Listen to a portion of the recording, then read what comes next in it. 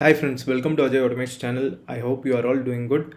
So in this video, let's quickly see about some mistakes we make during Selenium automation interviews. Okay, let's quickly start. So the first one is failing to explain about your test automation framework level enhancements. So I've seen many candidates struggle to answer this question. So as an automation engineer, you might have bring anything new to your framework or you have you might have enhanced your existing framework. Okay, like implementing parallel execution or maybe you have implemented CI/CD automation or maybe you have configured Allure reporting instead of TestNG reports. These are all small enhancements we have made in your automation testing test framework. Okay, so please be prepared to answer this question. And the next question is failing to explain how you choose automation test cases. We might work in any test management tools like Jira or Bugzilla. Okay, so selecting um, automation test cases from a list of 1000 to 2000 test cases you should be able to explain the process how you select automation test cases maybe you do in sprint automation as well so existing regression test cases how you select maybe you automate critical high priority test cases and parallelly you do in sprint automation also. You can explain that way. Initially we automate critical priority test cases and uh, parallelly we do in sprint automation. And once it's over we go for low priority test case automation. Okay so let's see the next question. Lack of explanation for locator choice. So overusing or talking about xpath unnecessarily instead of efficient locators like id or css is a negative. Okay. So please be prepared in this question. Talk about xpath uh, uh, sorry talk about css selector and id more and talk less on xpath okay. Because these are the fastest way to locate web elements id and using id and css selector. Okay so the next question is weak synchronization strategy using thread.sleep. I have seen many candidates code uh, has thread.sleep co comments. Okay, please do remove this before your code commit and make use of explicit wait whenever it's required. It will save us a large amount of test execution time. Okay. So the next question is mixing implicit and explicit wait. This question was asked recently in an interview. Are you using both implicit and explicit wait in your framework? Okay, and uh, the answer is we should not use both implicit and explicit waits. Uh, okay, it will result in unpredictable errors or behavior. Okay, try to use explicit wait whenever required so that as I said, it will save us a large amount of test execution time. Okay, and uh, then let's see the next question no knowledge or less knowledge of CI/CD integration. As you know, many of our automation uh, projects or automation project test runs in CI/CD pipeline, like in Jenkins or Bamboo. So we should know how it is working and how these builds are triggered, how many hours once it's auto configured, etc. Maybe it's configured every day, and whenever you do a code commit, it works. You should be able to explain this to the interviewer. Okay.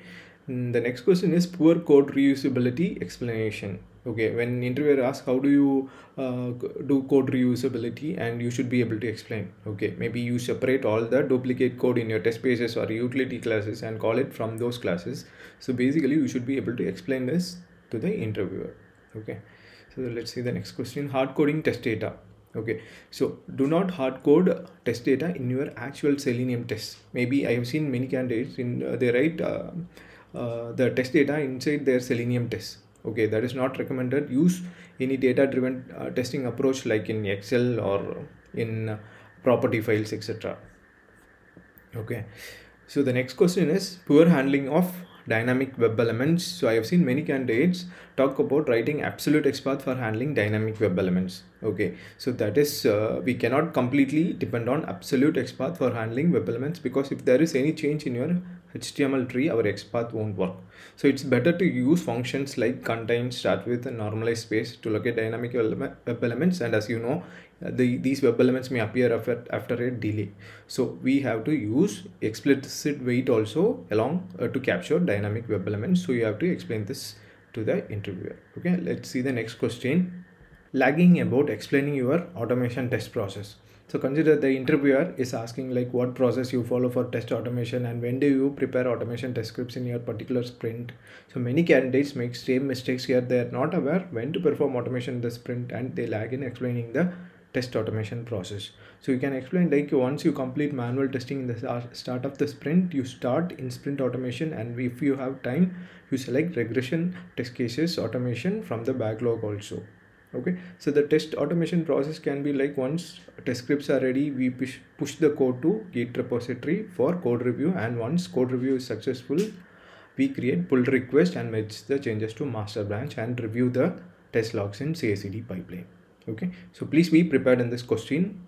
Let's see the next one. Lack of knowledge about cross-browser testing. So as you all aware now, we have to test our application in multiple browsers. So as so, uh, so as like we have to automate it, our test case in multiple browsers. So you might have worked on TestNG parallel tests or Selenium grid. So please do explain the whole process, how you have configured parallel execution, are you using TestNG or Selenium grid? Uh, you can explain it to the interviewer okay so next one is lack of understanding of selenium architecture many candidates um, are still using the older selenium versions we have to be up to date about the latest selenium versions and latest selenium architecture okay so please be prepared in explaining about the latest selenium architecture usages. Okay let's see the next question. So understanding the interviewer's perspective. Okay so you can get a basic idea like what the interviewer is expecting from the questions asked from them. So we cannot make mistake in while explaining automation framework. So many candidates uh, just explaining the automation framework and uh, components uh, they took alone 15 to 20 minutes okay? The experienced interviewers they talk a lot lot about automation framework and its components what you have done in the framework what are the files you are working on how how you are doing test reporting code commit etc they will talk for at least 15 to 20 minutes. That's a big positive okay? Because he is impressed by the way you have answered. So that's why he's keep he keeps on repeating questions from automation framework. So please be prepared thoroughly in the com automation framework components um, when they ask explain about your automation talk about like one to two minutes. From those one to two minutes they will ask questions okay? So please be prepared very well in automation framework areas okay? Let's see the next question. No logging or test reporting knowledge so many in many interviews i have seen how do you handle test failures? What will you do when you when a test suit fail happen? So you should be able to explain about how you are doing logging and test reporting. Okay. So please be uh, prepared in tools like uh, log4j Extent reports or allure or testng reports how we are configured those tools and what is the usage of these tools okay. And the next question is not keeping up with recent tools and trends. As you know ai is more popular now so you should know where ai is helping in test automation as well as you should be aware of docker files and latest selenium features etc okay please do read uh, latest selenium release notes etc okay so let's see the next one so consider the interviewer is asking a question you and you are explaining a definition. This shows our bookish knowledge. So please do explain about the real-time scenarios, how you, uh, when you face this scenario and how did you overcome that scenario instead of explaining about definitions you read from a book. Okay. The, so when your experience grows, we, we cannot explain like definition again and again. We have to explain about the real world scenarios okay and avoid grammatical errors. In the interview overcome it by pra- practicing again and again read watch and attend lot of mock tests before real interviews. Okay this will definitely help improving your confidence level. Okay so we have come to end of today's video. I hope this will be definitely useful for your upcoming automation interviews. Please do subscribe my channel ajay automates and watch out for more automation training and interview preparation related videos. Thank you. Take care. Bye